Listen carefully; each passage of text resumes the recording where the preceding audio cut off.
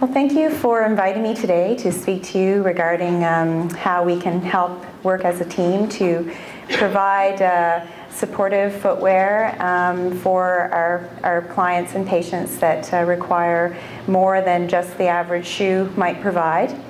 Um, I thought I'd start with introducing myself a little bit more.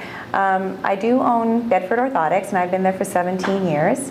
And uh, I started out with a, a, Bachelor's of Science in Kinesiology, and I became a Canadian Certified Podorthist in 1993. And then after working 10 years at Orthotics East downtown, I uh, opened my clinic in Bedford above Cora's restaurant in Bedford. And we do have an on-site lab as well where we do our own manufacturing of the orthotics and uh, which allows me also to do modifications to, uh, to footwear to uh, provide uh, the next step uh, in uh, providing the care that your clients may, may require.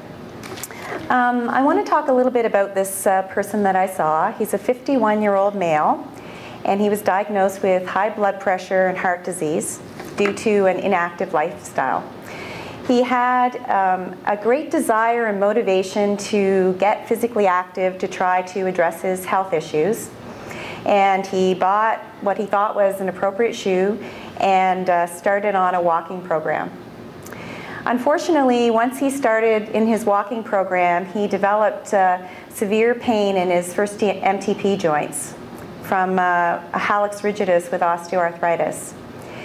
And he wasn't able to continue his walking program. So when he came to see me, my first course of action was to address why that was happening. But as we know, a rigid joint, it, it's not correctable, it's, it's fused. So even though I was able to address why the pressure was excessive on the first MTP joints, um, I couldn't change that.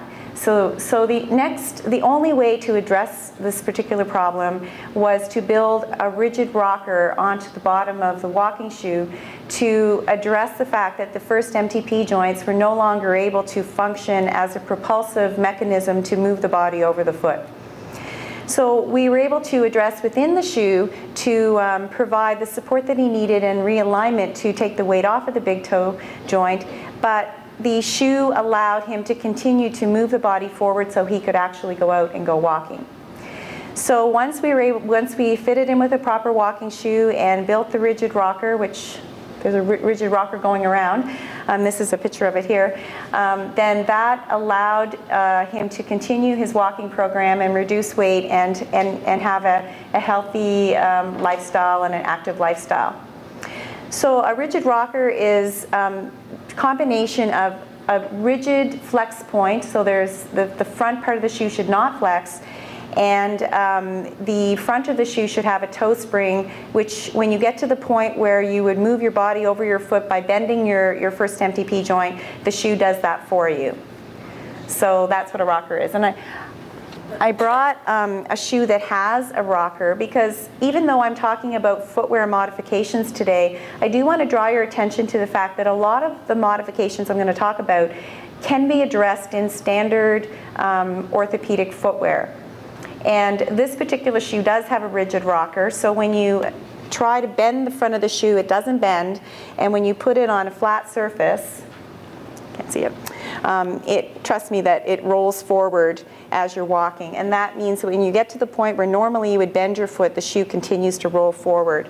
So often I, if I can fit somebody in a shoe that uh, is going to provide what they need, I may not necessarily need to do uh, a modification to the shoe. But the modification is certainly an option if we have to go that route. The second case study that I'll talk about regarding the rigid rocker is somebody with foot drop or foot slap. Um, this particular individual that I saw has um, Parkinson's disease with right side affected. And when he walks, instead of moving the body over the foot in a nice controlled manner because of the, uh, the muscle um, that's not, that the muscle is stiff and not in control, then the foot is not able to continue to move forward so the foot slaps the ground. And so in that particular case, we want to encourage the foot to have more control at toe off, and we also use a rigid rocker in that situation. So the rigid rocker is, uh, is the first one. Let me see if I can figure this out. So the second uh, modification we're going to talk about, and um, that one is on the top, on the front left table here, is uh, a shoe lift. And a shoe lift is uh, designed for somebody with a leg length difference. So how many people here know the difference between a structural and a functional leg length difference? Well, I'll explain that first because it's really important to um, know that when someone has one leg longer than the other, the only time we would address it with an actual lift, either inside the shoe or outside the shoe, is if it's a measurable structural leg length difference. So we have people lie down and we measure from the top of the pelvic on the iliac crest to the medial malleoli and that gives us an actual measurable number as to what the leg length actually is. And there are people that come in that look like they have a significant leg length difference, but in reality, they have what's called a functional leg length difference from either an imbalance in the pelvis or a scoliosis or something going on that's contributing to the, the leg length, but it's not structural.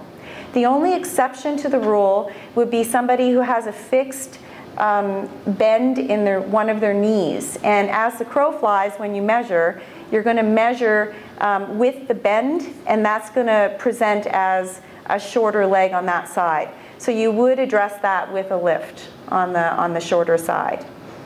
So what we do with leg length, from the measured amount, we correct for half of the total with the full height at the heel, and then half of that height at the half of the measured amount at the heel and then half of that at the, at the metatarsal heads, and then tapered off at the, at the toe.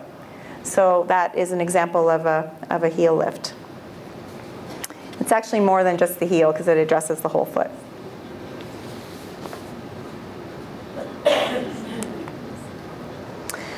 So I have a picture of a, um, a flare here, but I'm going to actually talk about flare and buttress at the same time because buttress would be uh, an extension of the flare up over the upper of the shoe.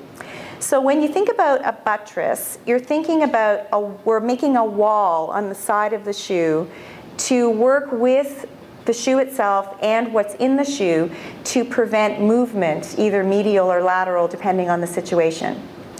So the person I'm going to talk about in this case is a flexible, very flaccid flat foot. And when this person stands up, her foot actually almost touches the ground at the medial malleoli. It's that flat. So regardless of the shoe that we're selecting for her or the orthotic that we're putting in the shoe, the, the, it just wasn't enough. So we had to put something on the shoe to extend the sole of the shoe and build up over the upper to prevent the foot from continuing to, to pronate.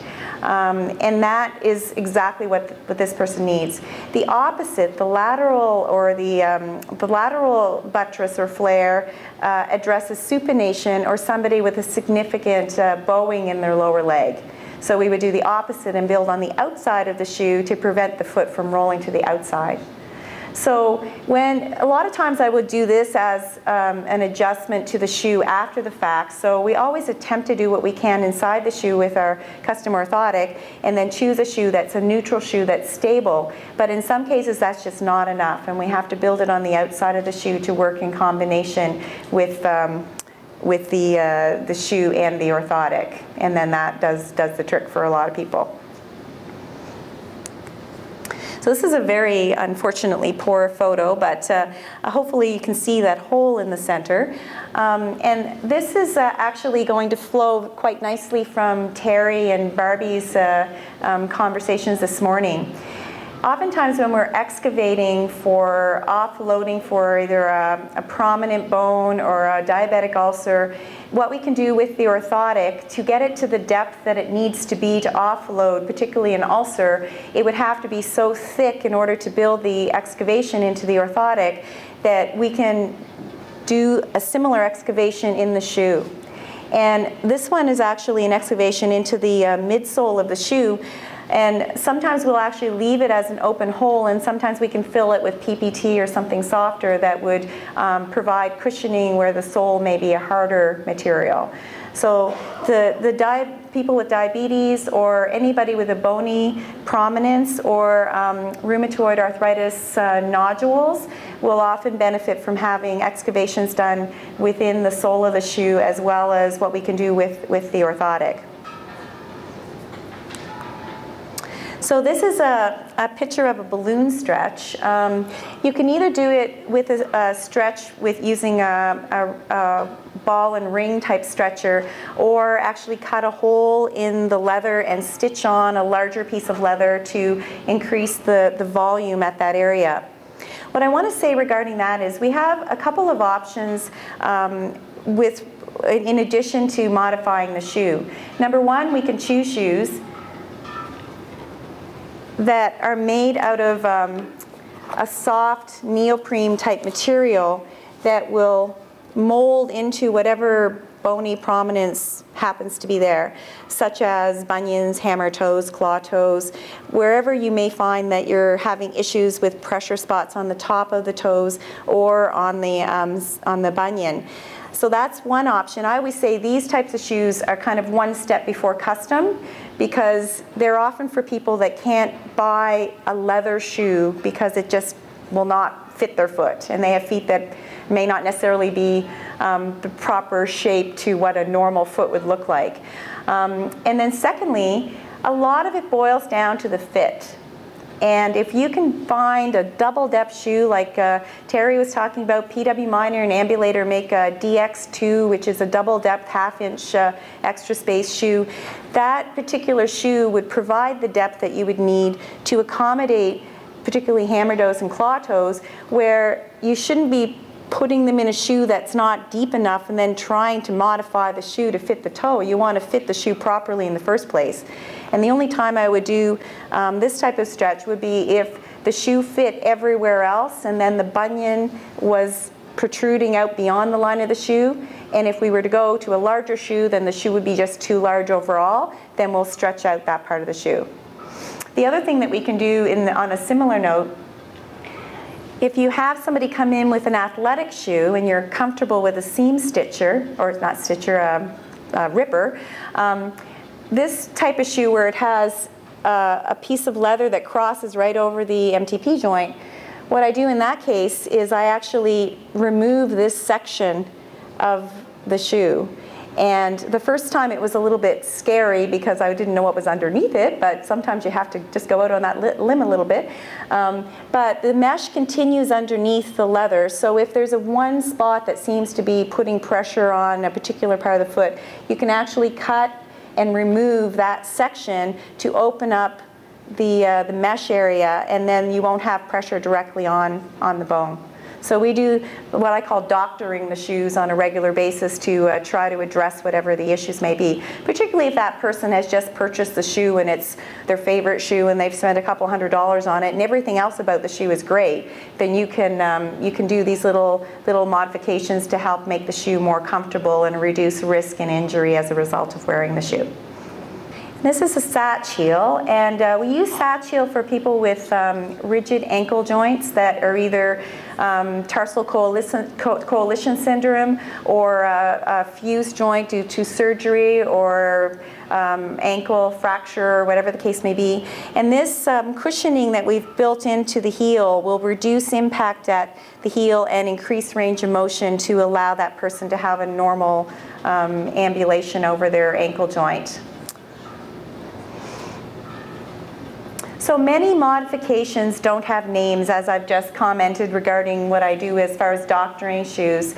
The, the point I want to make about shoe modifications is that it's part of what we have in our toolbox to provide our patients or clients with what they need to address their problem. And I always say we're not in the business of selling shoes and making orthotics, we're in the business of solving problems. And whatever that takes, whether it's a, um, a, a modification to a shoe or a special shoe or an orthotic or a toe crest or toe spacer or compression stockings or whatever it may look like, all of those things are things that we can provide in our toolbox to meet the need of the patient. And, uh, and so this is just one more thing that we can do to offer that extra amount of, of uh, service to our clients and patients to work together to, to accomplish our, our goals. Someone might ask, well, what, why would you do a modification to a shoe and not just do a custom shoe?